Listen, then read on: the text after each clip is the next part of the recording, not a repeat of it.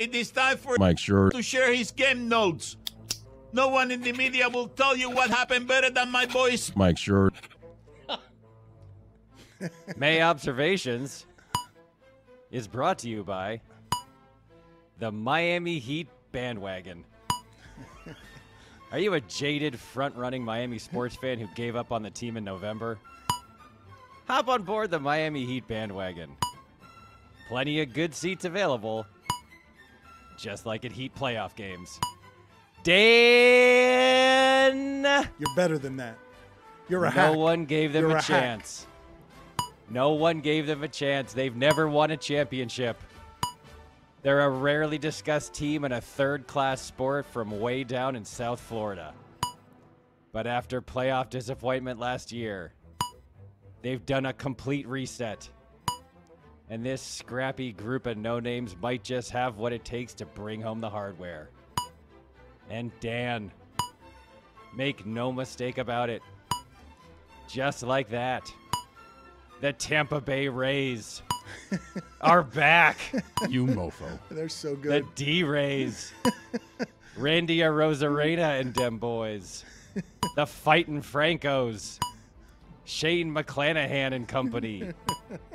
Garrett Cleavinger, Braden Trelnick, Cooper Criswell, Yonny Chirinos, etc. Those aren't real names. One of those guys I named is not real. and none of you knows which one it is. South Florida hockey. Hockey, South Florida. I'm introducing you because you've never met before. Sergei Bobrovsky. Do it in the conference finals. Matthew Tkachuk. Do it in the conference finals. You know what turned the Panther season around, Roy? What's that, Mike? They got better on the forecheck. Thank you. Here come the Pirates. Haven't been on the show in a while, but I've been listening. I really like this new format you have. First, it's the local hour, where Dan, Mike, and Jeremy Taché talk all things Miami sports. Then it's the Big Suey, where Mike, Dan, Billy, Chris, Roy, Jeremy Taché, and Tony do a Miami sports roundup. Then comes hour one, featuring Dan, Mike, Max Strus, Jeremy Taché, Izzy Gutierrez, and someone named Zaslow, covering all your Florida Panthers news and notes. While Jessica Smetana complains about how cold the studio is. Then, then comes hour two, where Mike, Jeremy Taché, Dan, Tony, every member of the Cote family, Izzy Gutierrez, someone named Zaslow, Marc Hochman, Billy Corben, Ron McGill, Pitbull, Dan Marino, and eight Cuban guys who are extras in Scarface. Cover everything from heat culture to the Florida Panthers Stanley Cup run. There were no Cubans in Scarface. It And was finally, just it's Al the post-game show. and finally, it's the post game show where Gloria Estefan, a busboy from the Fontainebleau Hotel, and a rotting manatee corpse that washed up on South Beach talk about how bad the traffic has gotten on Biscayne Boulevard. Taylor. Taylor is that rotting manatee. Way to. Way to build a national audience, Meadowlark Media. I told them they And were by the getting way- annoying and they didn't agree with me. They don't agree with me. I've told them that they're well beyond obnoxious. They ignore me.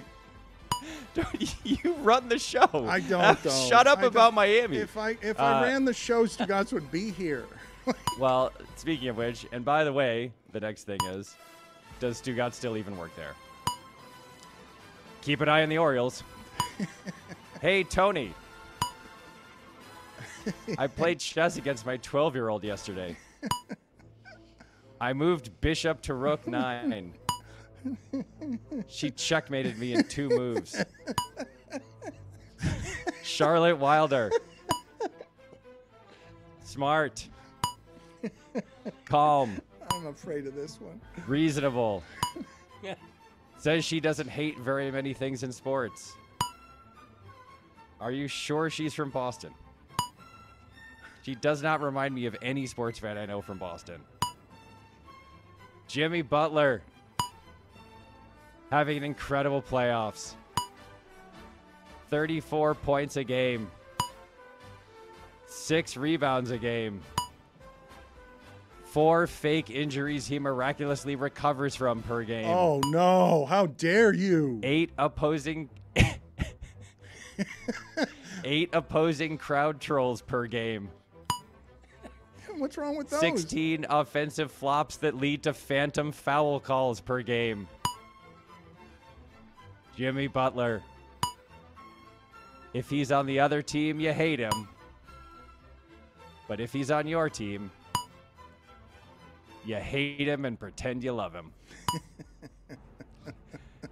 Anyone who says the words Himmy Butler should be sent to prison. Put it on the poll, Juju at LeBatard show. Should anyone who says the name Jimmy but- Himmy Butler be sent to prison? I did it once on the broadcast to his face. Look at me, Lou. I'm serious about this. Yeah, go sit in the penalty Get him box. out of here. I'm okay with Wow. DeSantis actually doing that with Florida legislation. I'm good with it. 10 years maximum security prison. That's the punishment. Should be. Put that on the poll as You know well, what the Juju. H in Jimmy Butler stands for, Dan? I do Do not. you know what the H in him in Jimmy Butler stands for? There is no H. Stop calling him Himmy Butler. LeBron James. Do it in the finals. Lonnie Walker the fourth. Do it in literally any other game ever in your entire life. How is that possible? That that's serious. That that's what's going to dethrone the Warriors. 15 points from that guy in the fourth quarter. Seriously, that's how it's going to end for Steph. The fourth quarter. Come on. You know what the IV in Lonnie Walker the fourth stands for, Dan? I do not. It stands for the IV he had to put in his arm after the game because he was so exhausted. Yeah. Don't don't sleep on the Rangers. The average baseball game this year is 2 hours and 36 minutes. They used to be so long, you guys. How long were they? They were longer than that Miller Lite ad read that Mike Wright and Jeremy Taché do. that is getting I mean, Jesus, that is guys. getting it so complained about around here. We have no less popular advertising that more people are talking about. They're still running that? I hit the f- I hit the fast forward 30 seconds button on my phone 8 times. And I still didn't get all the way through it. Just 96 calories. If you start playing Mike and Jeremy's Miller Lite ad read at the exact beginning of The Wizard of Oz, the movie ends two thirds of the way through the ad. Writers Guild of America on strike. To give you some idea why, I'll put this in Stugotz' terms.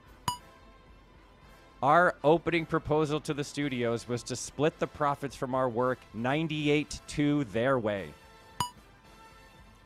and they told us to go bleep ourselves.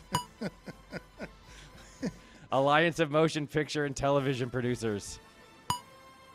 The Stugotz is strong in you. when I was a kid, I had to take this gross tasting medicine for an earache. And I hated it. So my mom would stir it into ice cream to get me to choke it down. But the thing was, I could always still taste it stirring it in just kind of ruined the ice cream. In an unrelated note, it's been great having David Samson popping up all over the feed the last couple of weeks.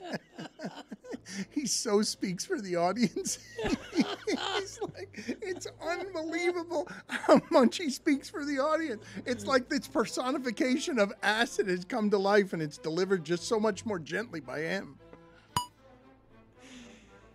David Samson saying professional screenwriters are fungible. hey, David, go funge yourself. you guys always say the Celtics are too white.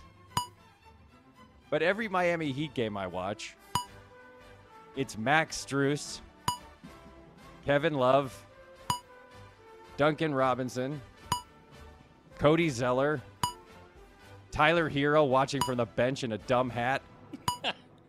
Even the fans in the crowd are all wearing white. Looks like the boardroom meeting of an insurance company in Des Moines. Also, I told you Jamokes months ago You did. that the Heat were the most dangerous team in the playoffs. You did. We laughed at you.